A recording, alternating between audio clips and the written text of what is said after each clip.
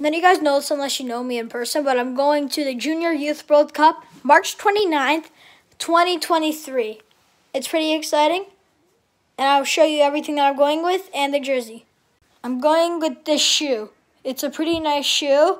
Uh, pretty clean. I use it once in like five practices, so but it's not that damaged. Some of you might think it's new. It's really new.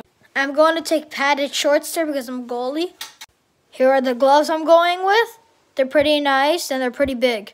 I went to this camp and it ended last week in March break, and it's run by YouTubers in Australia. So subscribe to them called Joner Football. Search up Joner Football and, and subscribe to me.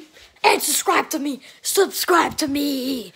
And for the moment most of you have been waiting for, the team that I'm going with and the jersey. Here's the jersey and I'm going with Game Awareness.